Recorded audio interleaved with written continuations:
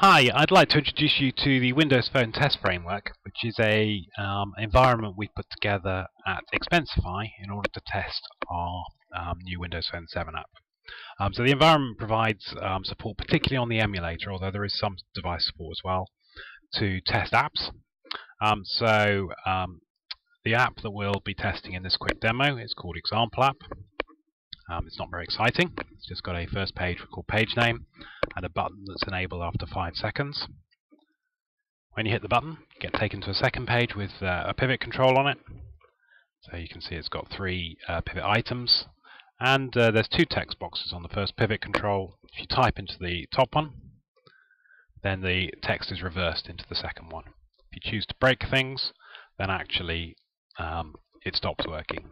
Now obviously break things is, is there just for demo purposes for our testing um, and uh, I'll show you how that's used in a moment. So that's the application. Um, if you then want to actually see our test environment then uh, the solution for it, um, obviously you're just linked to the binaries but here's the solution for it um, available on GitHub. Um, it's got a, a, few projects within there. There's a big a server section down the bottom that has code to um, use the COM server for the emulator. It's got code for um, opening up a WCF um, service that the emulator client, the application itself, can talk to. And it's also got code to do some uh, Windows mouse and keyboard manipulation onto the emulator. Um, then we've also got at the top the client itself that you have to embed with your application. We've got some command line tools, and we've got an example. Um, if I start just by running up emu host, which is our main command line tool, then if I run that up, it's just a uh, command line application. If I show you that side by side with the emulator, um, now what you can do within um, the command line tool is you can use the COM API. Um, so that enables you to do things like uninstall your app, so it disappeared, to install it back in again, so that gives you a fresh start. Um, to start your app if you want to, using the launch command, and to kill your app if you want to, using the stop command. So that's the COM API. Um, once you've launched your app, you can also talk to the, um, use the WCF service to send messages backwards and forwards. So there's a basic ping command, just checking whether or not things are working. Um, you can also, if you want to, um, get hold of um, various bits of information from the screen, um, or you can send information to the screen. So, for example, you can use the automation interfaces to change page name to uh, pwned application and that sends that across and changes it.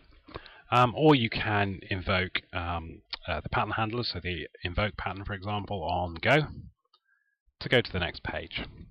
Um, and once you're here, then you can do things like you can set text on the text box input to hello world again. And once you've done that, you can then get the text back from the text box output and you can see it's pulled back the text there of DL well, hello world backwards.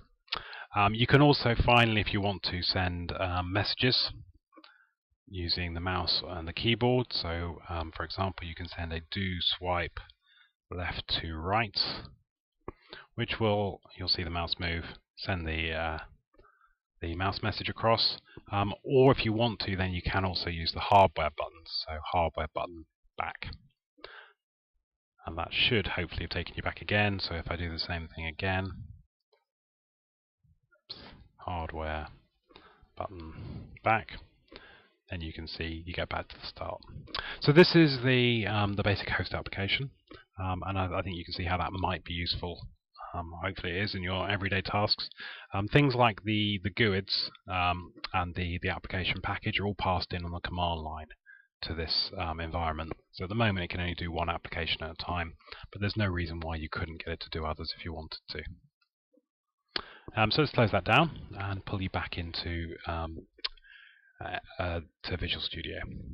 Right, so in here, just taking a look at the example app, um, we've added a project called Example App Spec, and this just has within it a couple of features, which are SpecFlow features. If you don't know what SpecFlow features are, there are a few other webcasts out there to find out. Um, and you can also look at what Cucumber does um, within Ruby and, uh, uh, in order to see how um, it's used in other ways. The, the Gherkin is the language underneath. Um, and Gherkin looks um, very readable. So if we actually just open it up, if it lets us, um, then you can see here is a, a, Gherkin file, a feature file. Um, and this feature is just testing the main page. Um, and you can see um, it's quite readable what's going on. It's uninstalling your app, etc. and then it's waiting. And we've got two of these features, as I say. So we've also got a child page feature. and you can run these within Visual Studio using ReSharper or using NUnit test um, or any other um, of your unit test runners. Um, so for example, let me just run a, um, a test up, which is this pivot page has a pivot which responds to swipes. If we run that test, then it will get taken across to the session, and hopefully we'll see it run up. We will see it run the uh, simulator.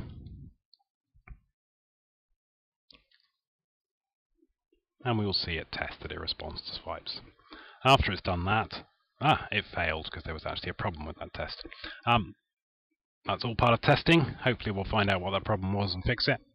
Um, let us also now see um, the final piece of the, puzzle here, which is we've included um, just kind of a command line um, script. In this case, we use Windows Script Hosting to run all the tests within the project. Um, so if we run that using uh, the command line environment, um, then what happens is it runs up NUnit. It's actually a special 32-bit version of NUnit, just because we, we use this 32-bit COMDLL. And what you'll see is this runs through all of the features and all the scenarios in our project. Um, so it will take a couple of minutes to do so. And hopefully we'll see it test each of these things. We obviously will get a, um, at least one failure because we've got a deliberate um, scenario that fails. Um, we may get two there because we've also got a problem with the uh, the scrolling information there.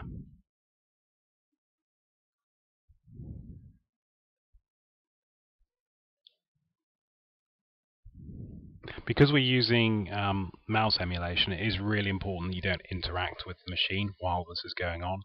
Um, that's just a limitation of the way we've done it. Um, I think we could add more peer automations within the app. Um, however, um, obviously, it's just time at the moment, and we are looking for other people who want to join this project and add those. Um, certainly, at the moment, it's a very good way of testing whether or not your app really works.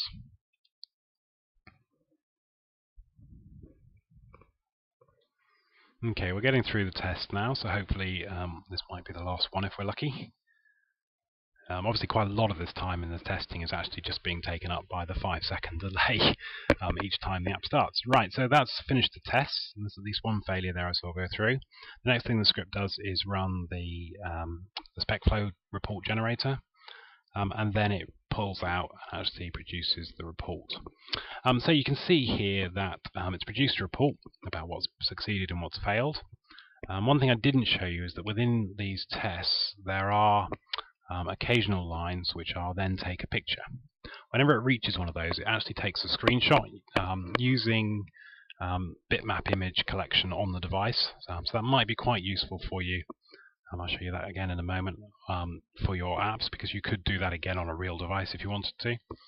and once you've collected those, then what happens when you actually see the, the test running is those will show up. So for example, in our broken test, you get to see the entire details of the broken test. And uh, within there, we collect screenshots of what it looked like.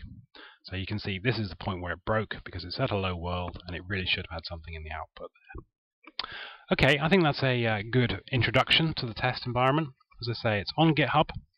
Um, it's on GitHub under Expensify Windows Phone Test Framework. Um, and uh, it's still very early days for it, but um, we're hopeful it'll be useful for us and useful for a lot of other people out there. Um, and we'll get lots more people building lots more things for it. Okay, thanks for listening.